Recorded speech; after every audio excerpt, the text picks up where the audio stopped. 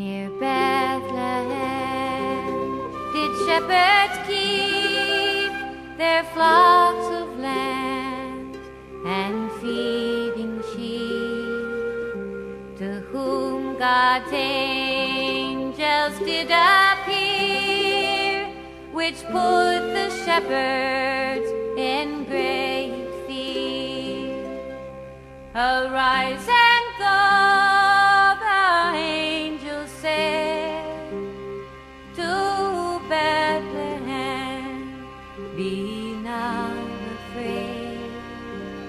For there you'll find this happy